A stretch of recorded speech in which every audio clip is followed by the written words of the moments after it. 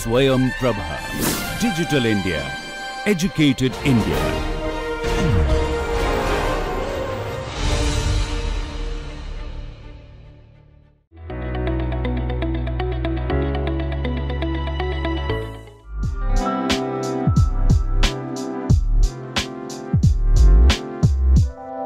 Smart India Hackathon is a platform that encourages students to solve real world problems through innovative technological solutions. Handling problem statements in the Smart India Hackathon involves a structured approach to understand, analyze, and propose viable solutions. Today, we are going to meet a past winner of SIH who will advise us on one of the problem statements of SIH 2023.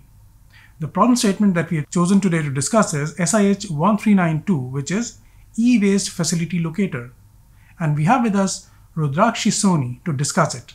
Welcome to the show, Rudrakshi. Uh, yeah. Uh, thanks, Vikas. Thanks for inviting me. Right, Rudrakshi. So please uh, let us know uh, something about you. Introduce yourself and uh, let our viewers know uh, who exactly you are, what do you do, and what are you doing right now. Uh, so I was the BTech student uh, and passed out from the JSS Academy of Technical Education. I was also the past Smart India Hackathon 2022 winner and also the winner of UNESCO India Africa Hackathon. So I am currently working as a software developer at Morgan Stanley. Okay, to discuss uh, this problem statement, you've chosen 1392. So, any particular reason for you to choose this particular uh, PS to discuss with us today?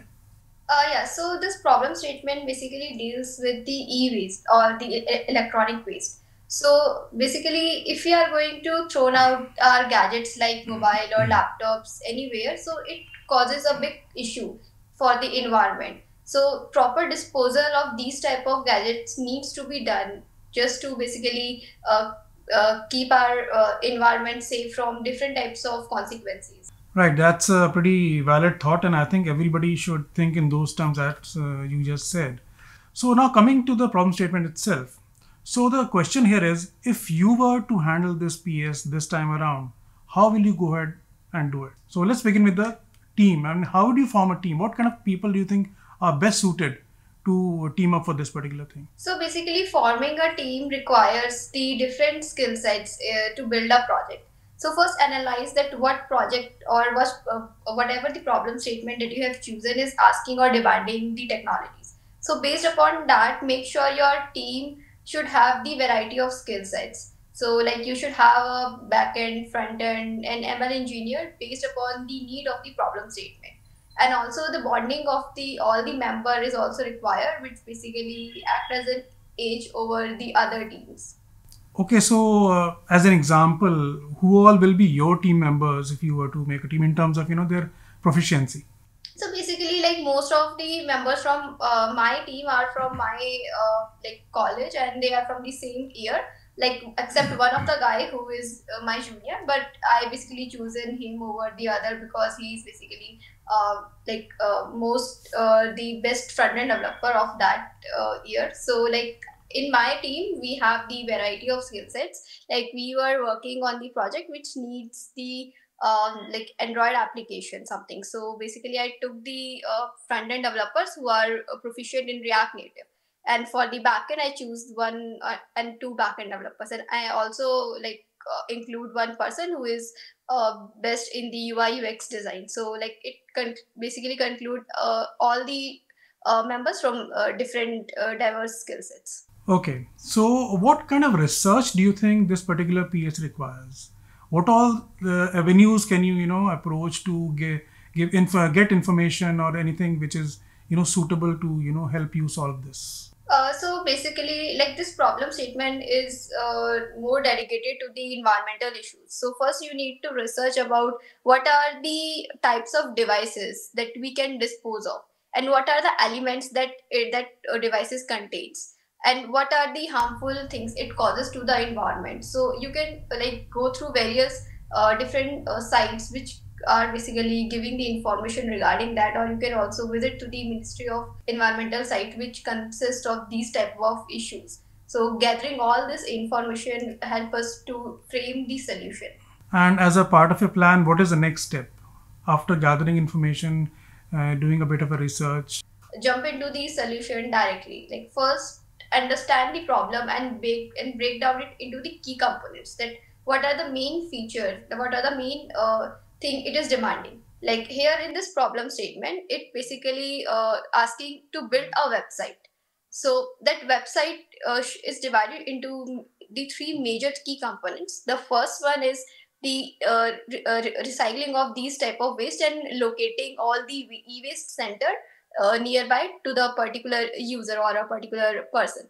So the first thing is we need to like make sure that you have all the details of all the locations then up, apart from that it demands the educational pop-ups to just uh, make the awareness among the people.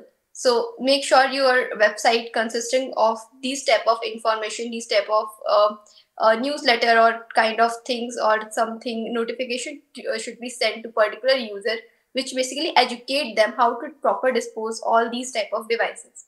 The third one that uh, i find out it requires um, business model to basically provide the credit points to encourage the users to dispose these type of devices particularly and how to handle these kind of waste. So these uh, credit models or the credit points can be used uh, by the user to redeem various kind of offers and something. So these are the main key core concepts of the problem statement that you need to first understand. So rudrakshi according to you what could be the challenges in you know creating this kind of an application what all do you think can be you know uh, tough points to deal with?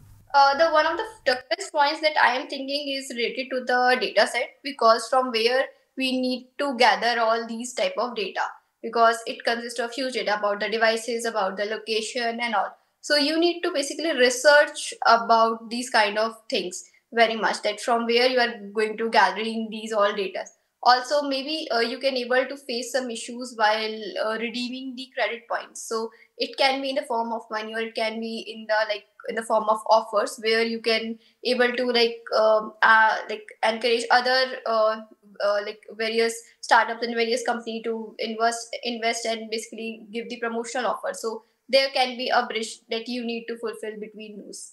Okay so uh, this is about the you know difficult part what what do you think is the easiest part of this which we should be you know not afraid of and we should be happy okay this is to be done and we can do it like this? So like for the uh, locate locations like to pointing out the nearby uh, location like there are lots of uh, apis like google map api it is like uh, very much used for the like locating everything uh, to a particular area. So that can be done easily.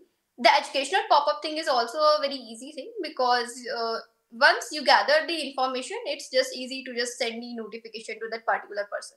So the notification part can be done easily. There are very various kind of notification. You can send you can send the voice notification. You can send normal sms or you can send the whatsapp sms uh, messages or something like that. Great. So now you we have kind of a good breakdown of you know easy part and not so easy part with us. Now uh, please share with us the breakdown in terms of planning like obviously i mean when you uh, reach the hackathon venue uh, you are already done with a certain amount of work. So what is the kind of work and uh, the quantum of work that will already be done before you reach the venue? And what all would you be doing there at the venue while the hackathon is on? Yeah so basically like uh, before reaching to the finals uh, you should be done with your main core features. Because these are the thing that on which you are basically going to judge on that make sure you have your strong mvp it's the uh, like the minimum viable product that you need to make uh, rather than just adding different different uh, additional feature into it. Yeah ad- adding additional feature will give you an edge but first make sure you are done with your mvp so once you are done with your mvp just try to enhance those features make it properly so that it will reflect that what you have done according to the problem statement that it demands and just try to think upon what additional thing you can add over that. Or make sure you have your if you can't even if you can't able to add those feature make sure you have the future plan that how to incorporate those feature to enhance your uh, product. Good. Those are some very fair points.